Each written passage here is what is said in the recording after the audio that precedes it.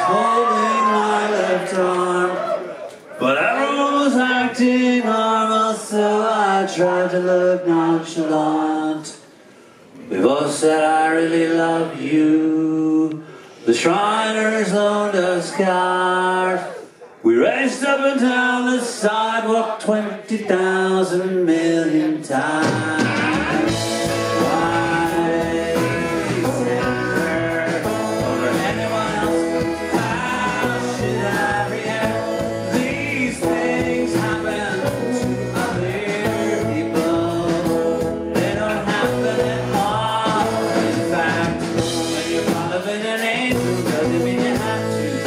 Throw your body off a building. Someone you're leaning on a pin, calling you an angel, calling you the nicest thing.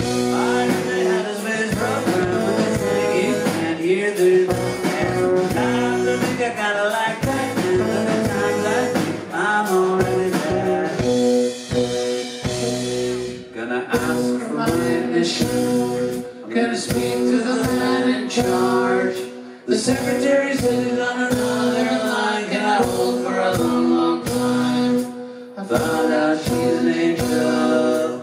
I hope that she knows I know. I'm worried that something might happen to me if anyone ever finds out. Why these happen over anyone else? How should I react?